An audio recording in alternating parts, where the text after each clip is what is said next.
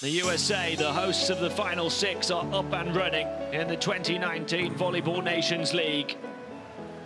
Everyone's just is, is like trying to like keep each other positive and work hard. So um, yeah, it's easy, easy group to be around. The guys are just like, yeah, they're just good people.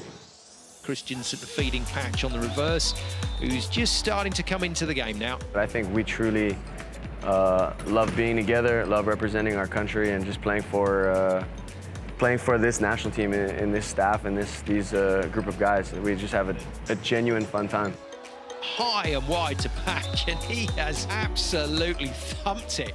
We all just have kind of a diverse way of thinking, which is really cool. I think that's just in the U.S. in general, like you just have like kind of a melting pot of people, and I think that kind of melts into like the sports side, where it's kind of a different people coming in from all over, trying to like figure out a commonality between each other to make it work. So I think that's our strength is like just tons of different ways of thinking and tons of different approaches to life.